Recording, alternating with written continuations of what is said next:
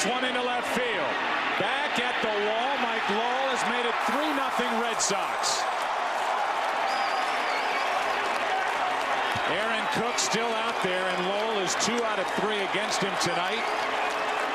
His second home run of this postseason, and he has made it 3-0 in the seventh.